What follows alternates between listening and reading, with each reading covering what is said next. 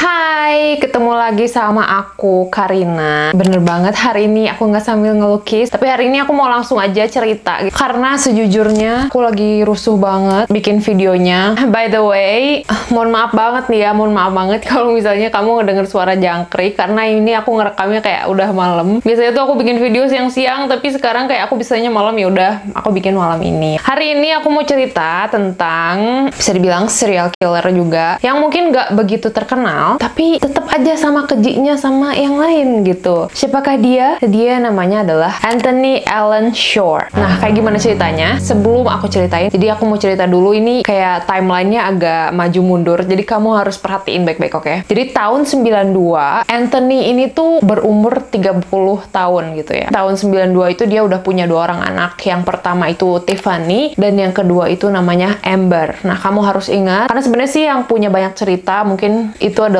Tiffany ya karena Tiffany yang paling tua gitu. Jadi mungkin dia yang lebih duluan ngerti dibanding sama adiknya. Nah, mereka berdua ini tuh sayang banget sama ayahnya ya. Si Anthony juga punya istri pada saat itu. Tapi entah kenapa si kedua anaknya itu tuh kayak lebih deket sama ayahnya gitu. Dan si Anthony ini tuh pada saat itu mereka berdua Tiffany dan Amber ini sangat amat mengagumi ayahnya. Yang pada saat itu si Anthony ini pekerjaannya sebagai uh, apa yang suka membenerin telepon gitu. Jadi tukang benerin telepon gitulah ya. Mereka sangat amat kagum, mereka lebih deket sama ayahnya, mereka lebih bonding sama ayahnya. Dan bisa dibilang dibanding ibunya, Anthony itu lebih memanjakan anak-anaknya. Si Anthony juga bakalan memanjakan anak-anaknya dengan memberikan mereka hadiah, terus juga ngadain acara pesta anak-anak gitu ya, biar anak-anaknya tuh bisa ngajakin teman-temannya main di rumah gitu. Kalau orang luar nih ngelihat keluarganya Anthony itu kayak ya keluarga normal biasa gitu loh, kayak wah seorang ayah punya dua orang anak perempuan gitu ya, punya istri. Tapi di balik itu ternyata ada rahasia gelap. Karena Anthony meminta saudarinya sendiri untuk mengajak temennya untuk apa? Untuk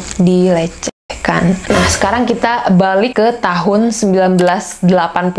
Anthony pada saat itu berumur 24 tahun. Jadi si Anthony itu kayak lagi nyetir-nyetir di jalan. Terus dia ngelihat ada anak berumur 14 tahun lagi jalan kaki di trotoar. Terus si Anthony itu yang kayak berhenti, berhentiin mobil, terus ngajak ngobrol si anak perempuan berumur 14 tahun itu. Yang mana sebenarnya kan ilegal ya kan? Kalau kamu mau ngegodain anak umur 14 tahun, kamu umur 24 tahun itu kan ilegal ya kan? Nah, si Anthony itu kayak pura-pura untuk menawarkan tumpangan. Mau nggak kamu aku anterin ke mana pun kamu mau. Si perempuan ini berumur 14 tahun namanya Lori dan Lori itu mau-mau aja. Karena lumayan lah ya tumpangan gitu ya. Karena kalau jalan kaki capek gitu. Terus dia pun akhirnya ikut sama Anthony. Terus mereka kayak ngobrol mereka pun berteman. Nah suatu hari Lori nebeng lagi nih sama si Anthony. Si Lori ini kaget karena Anthony itu tiba-tiba nyosor-nyosor aja gitu loh. Kayak Lori pun kayak ngelawan ngelawan ngelawan Anthony gitu ya. Dan Anthony pun memukul kepalanya Lori. Habis itu Anthony juga mengikat Lori menggunakan tali. Jadi Anthony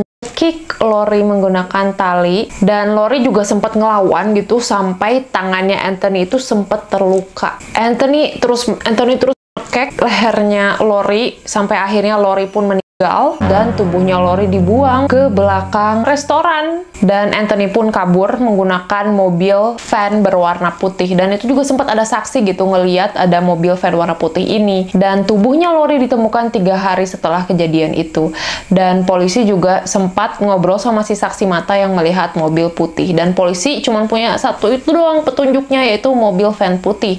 Tapi dari sana polisi nggak dapat petunjuk yang lain nggak ada tes DNA ya waktu itu. Jadi itu bener-bener kasusnya nggak bisa dipecahkan sama sekali sama polisi. Sementara itu, sebenarnya orang-orang ngelihat Anthony itu kayak sangat amat karismatik, umpan biar korbannya mau sama dia gitu. Nah, balik lagi ke tahun 1992, Anthony mulai melancarkan aksinya lagi di mana dia menyerang seorang perempuan yang berumur 23 tahun, tapi entah kenapa dia terlihat sangat awet muda, padahal dia umurnya 23, dan perempuan ini bernama Maria. Seperti biasa, jadi metodenya si Anthony itu pasti dia tuh kayak nyetir-nyetir sambil lihat-lihat uh, kira-kira ada siapa nih gitu ya. Terus uh, pas Anthony lagi nyetir-nyetir gitu dia ngelihat ada Maria nih lagi jalan di trotoar sendirian ya kan? Terus Anthony samperin tuh pakai mobilnya dia berhenti sambil nongol di jendela nawarin Maria tumpangan. Dan Maria pun mau ikut tumpang ke si Anthony dan pas Maria masuk ke dalam mobilnya si mobilnya langsung dikunci terus Anthony mulai nyosor-nyosor ke Maria dan Maria tuh ngelawan abis-abisan. Tapi tetap pada akhirnya ya yang namanya perempuan mungkin ya tetap tenaganya kalah sama tenaga laki-laki dan sampai akhirnya Maria pun dilecehkan dan kemudian dicekik menggunakan benang nilon yang sama yang mana ketika si Anthony korbannya itu meninggalkan bekas benang gitu di tangannya si Anthony-nya. Si alat yang digunakan untuk mencekik itu kayak benang nilon yang dia gulung ke kayu gitu, kayu sebesar jari, dia gulung benang nilonnya gitu. Sama dengan Lori, Maria pun tubuhnya ditinggalkan di belakang restoran. Nah, terus polisi kan nemuin tuh, menemuin tubuhnya Maria. Dan polisi sebenarnya nggak nemuin banyak petunjuk. Sebenarnya polisi tuh nemuin beberapa DNA di dalam tubuhnya Maria. Tapi pada saat itu karena tes DNA itu belum secanggih sekarang, eh, jadi polisi juga nggak bisa menentukan kira-kira siapa ini tersangkanya gitu. Polisi juga nggak bisa menghubungkan Maria dengan Lori kalau sebenarnya pelakunya itu satu orang gitu. Jadi itu kayak polisi masih nganggapnya itu adalah kasus yang terpisah gitu. Nah tapi DNA yang ditemukan di tubuhnya Maria ini disimpan, diamankan di dalam kulkas. Nah sayangnya pada saat itu DNA-nya Anthony kan nggak ada di database polisi kan. Jadi polisi belum bisa menyocokkan gitu. Nah setahun setelah Maria yaitu 1993 Anthony bercerai dengan istrinya. Nah, otomatis yang namanya pasangan cerai ya pasti ada perebutan hak asuh anak, terutama kalau misalkan bercerainya itu tidak dengan cara yang damai gitu ya. Jadi Anthony pun kayak sempat rebutan hak asuh anak bersama istrinya, tapi pada akhirnya hak asuh anak kedua anak perempuannya itu jatuh ke tangannya Anthony. Kenapa? Karena si istrinya atau si ibu dari anak-anaknya ini lebih milih untuk untuk menjalani kehidupan baru dengan pacarnya yang baru gitu. Jadi ya udah anak-anaknya diurus sama si Anthony. Nah, dari sinilah kehidupannya Tiffany dan Amber mulai berubah. Karena ternyata setelah bercerai itu barulah kelihatan sifat asli ayahnya itu kayak gimana. Itu yang pertama, ayahnya tuh jorok gitu loh. Terus ayahnya nggak begitu peduli sama anaknya, nggak ber, nggak peduli sama kebersihan. Bahkan anaknya tuh mulai kayak jarang diurus, bau, terus bajunya kotor, nggak pernah dicuci. Terus uh, makanan juga irit banget. Terus sampai mereka tuh waktu itu masih pada kecil harus nyuci bajunya sendiri gitu ya karena hidupnya irit mungkin nggak bisa beli deterjen gitu ya. Jadi mereka tuh kayak nyuci baju sendiri di kamar mandi gitu ya. Terus uh, rumahnya juga berantakan kayak cucian piring numpuk di wastafel terus juga ada banyak kecoa gitu. Bahkan mereka mau makan aja kayak susah banget gitu loh dan Anthony juga sering kayak pergi keluar rumah um, tanpa bilang ke anaknya mau ke mana gitu pergi seenaknya terus kayak si Anthony bakalan mengunci rumahnya biar anak-anaknya nggak bisa keluar rumah atau biar nggak ada orang yang masuk ke dalam rumah gitu nah lama kelamaan Anthony mulai sering memukuli si Tiffany dan juga Amber. Dan kalau misalnya Tiffany atau Amber itu nangis, biasanya Anthony itu bakalan mengancam mereka akan mencekik mereka gitu. Dan ini bikin Tiffany takut dong ya kan. Mereka masih pada kecil terus mereka yang awalnya kagum sama ayahnya ternyata ayahnya kayak gini. Dan Tiffany pun pada akhirnya setiap kali Anthony mau menyakiti mereka, Tiffany itu bakalan senyum gitu loh kayak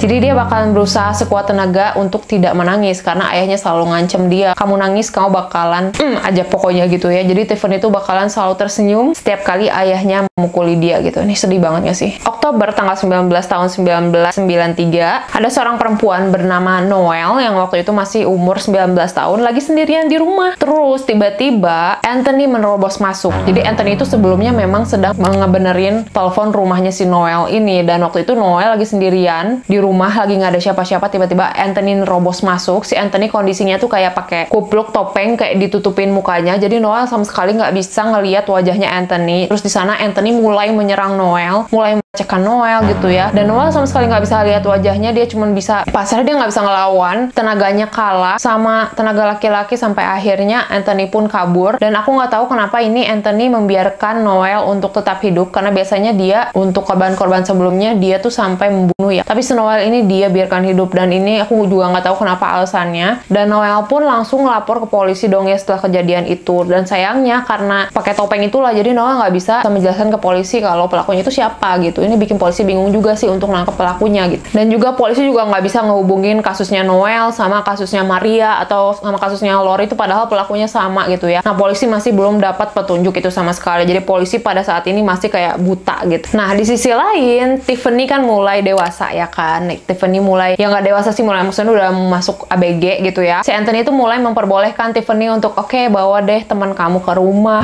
gitu ya. Tapi bukan untuk dijamu oleh makanan-makanan yang enak tapi Anthony itu kayak tergoda gitu sama teman-teman anaknya gitu kayak.